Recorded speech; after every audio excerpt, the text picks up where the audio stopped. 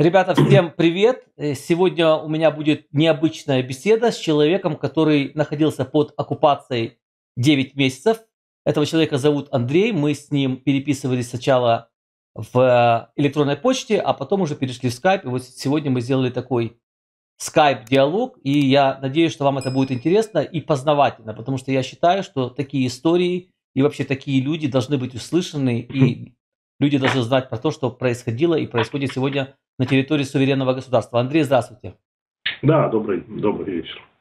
Во-первых, я хотел э, вас спросить, вы сейчас находитесь в Норвегии, правильно? Совершенно верно. Как, как вы любите говорить, э, на самой крайней точке северо-западной материковой Европы. Да, да, да, да, да. Первый мой вопрос будет э, такой. Вы родились и прожили всю свою жизнь в Украине, правильно? А, да, конечно. Я родился в городе Желтые воды э, Днепропетровской области, а всю свою сознательную жизнь прожил в Херсоне. Именно в самом Херсоне, да?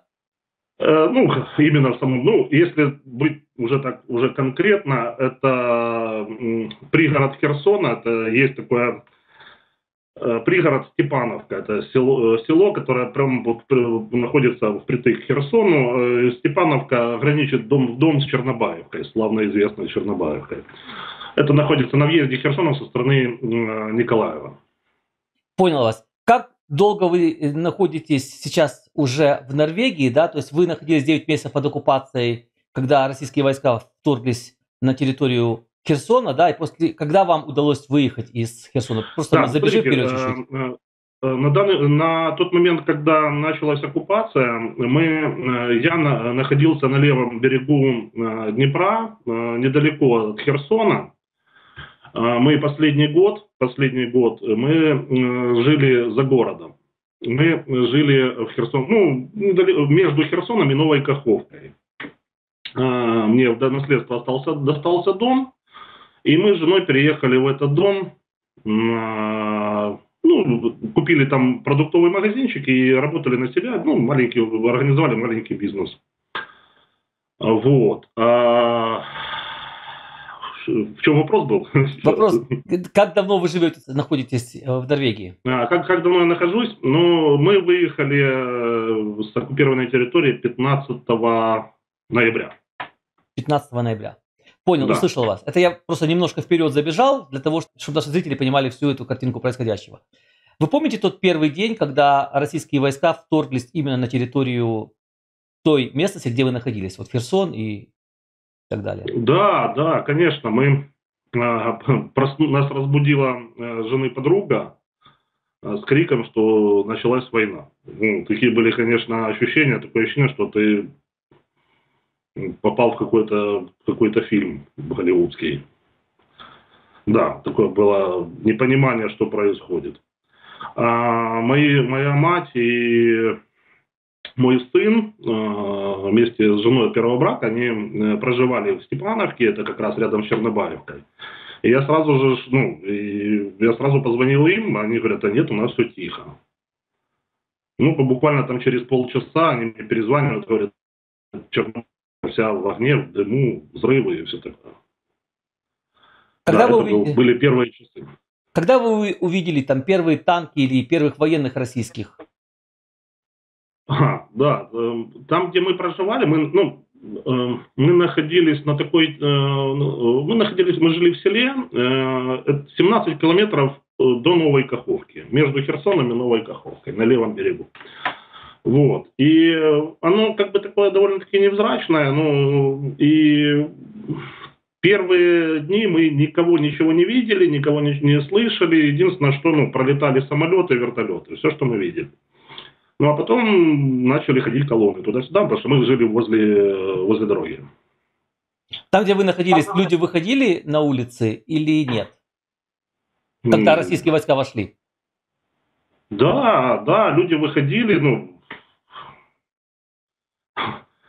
Люди выходили, ну, у нас, э, у нас был продуктовый магазин, и это, как бы продукты это предметы первой необходимости. Ну, все люди, которые были, ну, которые жили, они выходили и бежали к нам в магазин. Это как бы было такое место для сбора. все слухи, все, все, все, все, ну, все было у нас. Сейчас этот магазин есть или его уже нет? Надеюсь, что есть. Я вас услышал. Хорошо, что было дальше? Вот когда российские войска вторглись, значит, на территорию Украины, они зашли, оккупировали части там, где вы находились. Что было дальше? Что делали люди? Какое ваше было отношение по поводу того, что происходило? Как вели себя российские войска на той территории, которую они оккупировали? И чем они занимались? А, ну, э, э, как все это происходило? Значит, ну, мы продолжали работать, потому что, как бы, ну, кушать надо всегда, и люди, люди требовали, требовали, чтобы мы работали. Хотя, ну, первые мои мысли были закрыться и уехать, э, покинуть территорию, ну, бежать, бежать, бежать. Вот, ну, как бы жена настояла на том, что давай работать, давай, ну, куда мы бросим людей, потому что, ну, действительно очень много э, в нашем селе жило пенсионеров, которые остались вообще без ничего, без средства существования. А это был февраль месяц, как бы было холодно. Э, ну, мы с женой там и с такими с молодежью помогали пенсионерам, там возили им дрова, уголь, ну, где-то кому-то помогали едой. Как бы, ну, люди сплотились, очень, ну, как бы был костяк, который вот, ну, помогали. Один другому, да? Один другому да. помогали люди. Да, да, была помощь, ну, вот. Э, мы как бы э, вообще где-то около полгода мы э, встречались, ну, я встречался с, с оккупантами, с этими орками, только непосредственно тогда, когда мы ездили на закупку в Новую Каховку. Потому что как бы все связи оборвались, все процессы доставки продуктов оборваны, и ну, за продуктами надо было ездить самому. И ну, все вот эти проезды блокпостов, поезд, поездки на оптовую базу в Новую Каховку, это ну, совершали мы с женой. Ну, это были, да, это был квест каждый раз, выезд был, это нервы, валерьянка и так далее. Потому что это проезд блокпостов, Новая Каховка очень неспокойная была, каждый день там прилеты, работа ПВО, ну, ракет, ну, Тут стоишь, вот ракета пролетает, ПВО сбивают, а осколки сыпятся прямо на дома. То есть, ну, едешь и не знаешь, что тебя ждет. Да и вы приедешь ты обратно или нет. Ну, так вот мы полгода существовали где-то до октября месяца. Э, солдаты эти, ну, они приезжали чисто рейдами. Они приехали, самое главное, чего они искали, они искали атошников. Вот. То есть э, раз в месяц заехали машины, прошерстили, уехали. И все. Ну, дальше село живет спокойно. До, до следующего рейда. Какое отношение у российских оккупантов было к народу, к населению? Ну, они все разные. Ну, ну, в нам, к нам в село э, они зашли уже непосредственно в октябре месяце где-то в середине, в конце октября, э, вот так уже массово зашли, они начали занимать все пустые дома, скрывали дома. А, ну, грабеж это был это как с добрым утром. Вы видели, ну, лич, вы видели, я извиняюсь, перебью вас, вы лично сами видели, как они занимаются мародерством, когда заходят в какой-то дом, грабят его, ну, выносят ну, вещи? Ну, я так скажу, смотрите, ну, если ко мне при, приходят, э, ну, они же в магазине что у меня искуплялись. И, то есть непосредственное общение с ними у меня было, дай Боже, ой, не, не дай Бог, как много. Да, я с ними общался каждый день и по, по много раз. С пьяными, бурятами, это, это тоже отдельная история. А, вот. Э, э, что я видел? Они приходили в магазин и говорят, Андрей, тут этот, есть газонокосилка, там, перфоратор, давай на еду поменяем. Ну, от, ну, ну откуда у них газонокосилка? А, ну, вот так вот, чтобы я видел, ну, буквально вот возле моего магазина там соседи, они, они покинули территорию Украины, уехали в Германию. А, при, при мне они ну, скрыли гараж, угнали машину. И потом на этой машине с буквой Z катались по селу. Ну, это то, что видел я лично. Но они вели себя нагло, да? То есть они вели себя так, как хозяева недозв- судьбы, хозяева судьбы, которые ну, были никто, им дали руки, в руки автомат. Вот так они себя вели. Они запугивали когда-нибудь вас или, может быть, ваших родственников или людей, которых вы знали? Они со мной пытались э, на- наладить диалог, и как бы потому что ну, я был единственный, я был единственный кормилец на, на все село. Э, Как бы, ну, у нас были такие отношения. Здравствуйте, до свидания. Ну, были такие случаи, когда да, там ну, пьяные буряты приходили, что ну, и качали права. Один зашел с гранатой, так поигрываясь. Я говорю, выйди отсюда, ты что, ты что творишь? Ну, в магазине с гранатой. Он говорит, так тут че- чека не вдернута, ну, ну, ничего, ну, нормально. И, ну, стоит, ну, ну, то есть, такие, да, ну, полуотмороженные. А что сейчас происходит с вашей э, квартирой или домом, где вы жили? О, ну, это отдельная история. Ну, так получилось, а, моя квартира сейчас пустует, она в Степановке находится, ну, там на, на, на весь дом, по-моему, там осталось несколько человек. Э, Многоквартирный дом. Вот. А дом жены, ее родителей, он э, находился непосредственно 200 метров от Антоновского моста.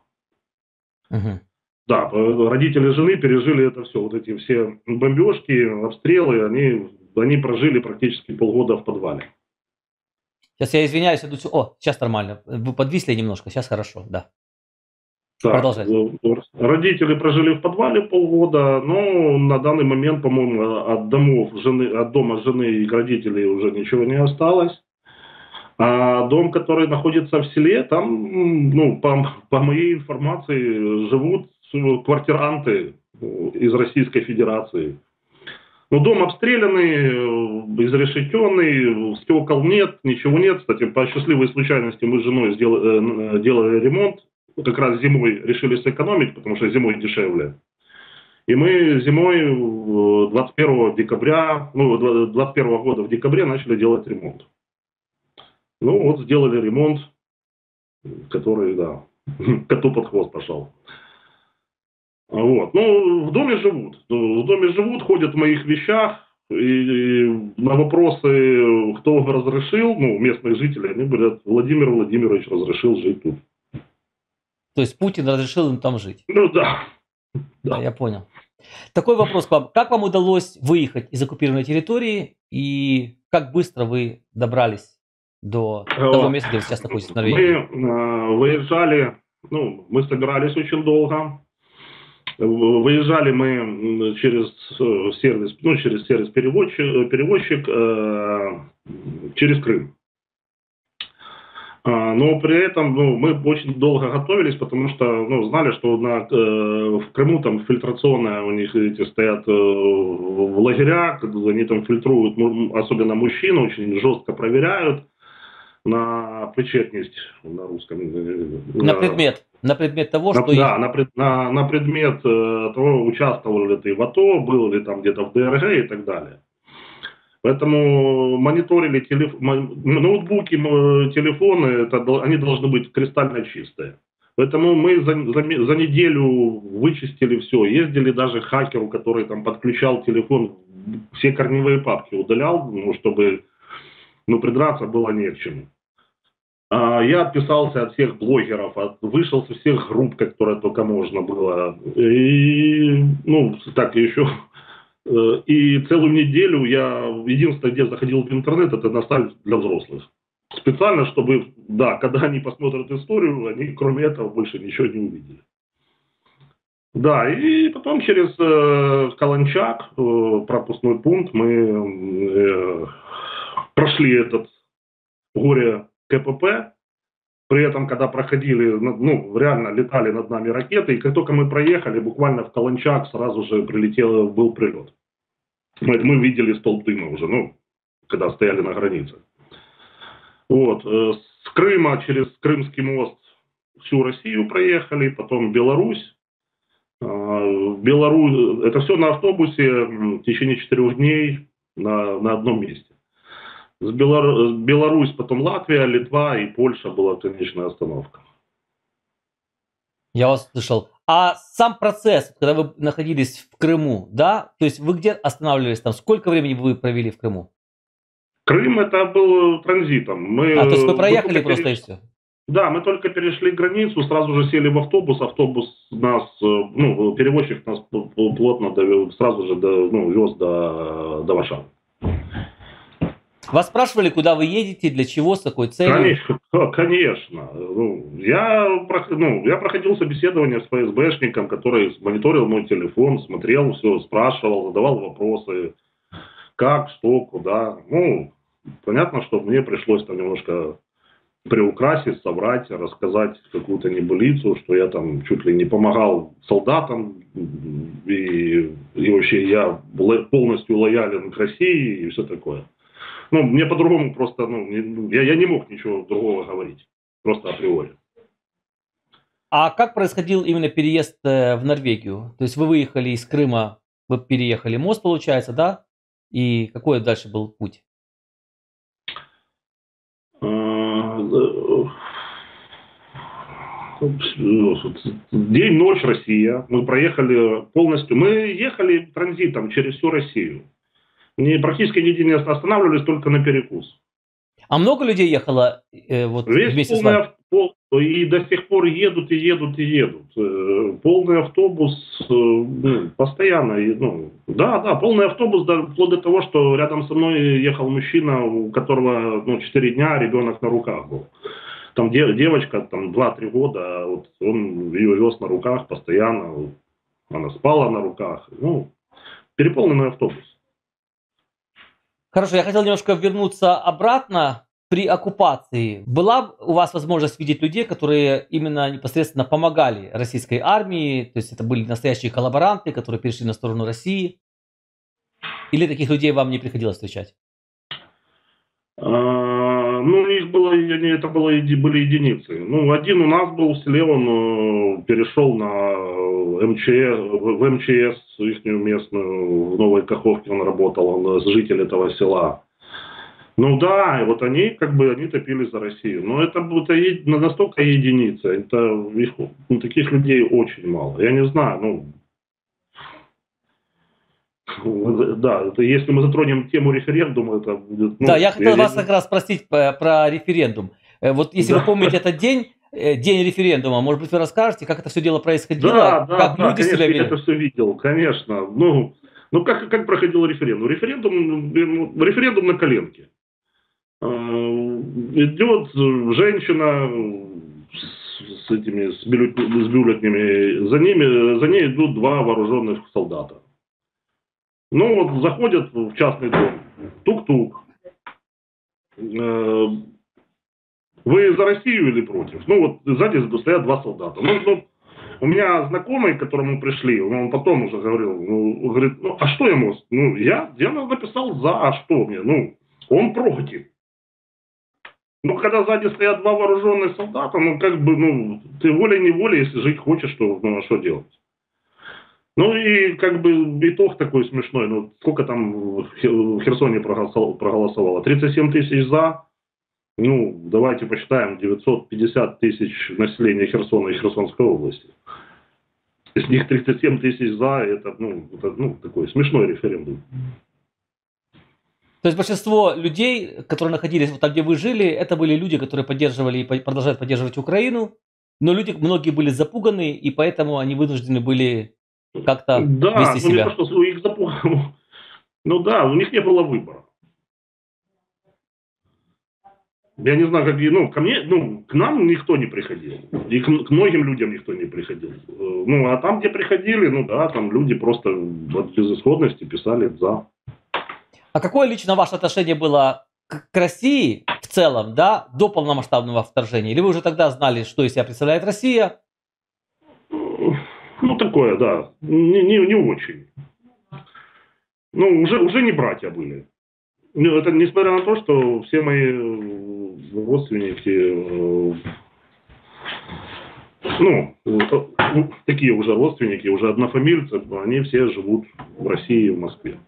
Вы с ними не поддерживаете никакие отношения, да? После 24 числа звонки прекратились с их стороны.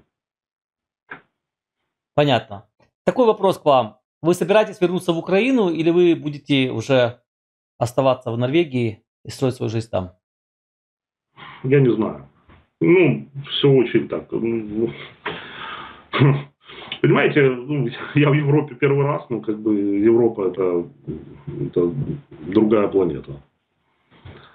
А, ну, Украина, Украина моя родина, я за ней скучаю. Поэтому тут, двояко. 50 хочется, хочется вернуться, 50 хочется остаться. Если, если думать с точки зрения, как жить дальше и где перспективы больше для меня, для моих детей, для моей семьи, то это, конечно, тут без вариантов Норвегия. А если с точки зрения патриотизма и земли предков, то, конечно, хотелось бы вернуться в Украину. Понятно. А какое ваше мнение, что ожидает в дальнейшем Россию, Украину? У вас есть какое-то, может быть, какие-то мысли по этому поводу? Как вы видите ситуацию? Для того, что, ну, то, что Украина победит, это даже ну, не обговаривается. Я, я, я в этом уверен на 100%. Просто вот, дальнейшая судьба Украины, вот это вот, вот это беспокоит. Потому что как бы там ни было, а, у людей сколько оружия будет на руках. И насколько я знаю, что очень многие солдаты ВСУ, ВСУ очень недовольны многими решениями нашего правительства. То есть не повернется ли оружие в сторону нашего правительства в дальнейшем? Не придут ли они спрашивать потом? Это вопрос. Я вас услышал. Может быть, у вас есть какая-то история интересная рассказать или поделиться? То, что происходило в момент оккупации. Если что-то интересное сказать, с удовольствием послушаю.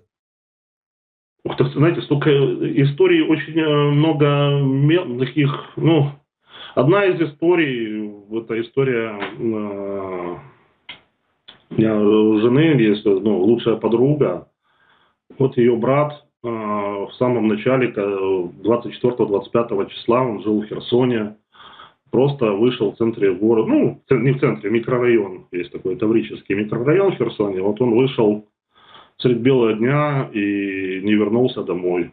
И ну, нашли уже тело, которое, ну, просто он вышел, не, не, неудачно вышел.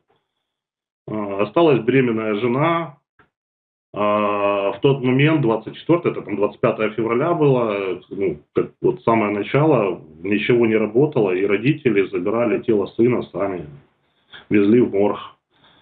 Вот. А как это, Отец... произо... как, это, как это произошло? То есть просто его он нашли? Просто, он просто вышел, и рядом прилетел, был прилет. А, я понял. То есть прилет. Я думал, что, может быть, оккупанты его или расстреляли, или еще что-то. Нет, это был прилет, и как бы да. И отец э, этой же подруги.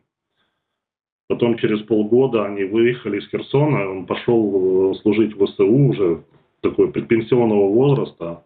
Вот недавно были похороны отца, он погиб под, под Бахмутом.